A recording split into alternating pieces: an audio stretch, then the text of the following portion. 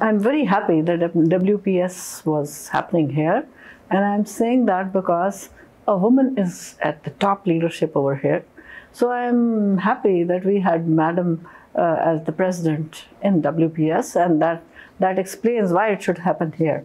And then I'm very, very um, uh, appreciative of uh, Saira Yamin because she was the one who thought of bringing uh, women from other countries and that is about diversity and that is about inclusiveness and that is what what all WPS is about.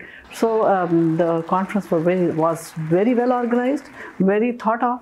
The panels were excellent and uh, the material was great. So for sustainable peace and security, we need that gender equality. So we have to go for that, and and uh, more more measures has to be taken, and maybe more of role modeling is also required at the higher level. And in addition to that, environment has to be created which which works for that, and then measures for the females to more, make them economically more uh, stable and more economically uh, strong that are also required for peace and security.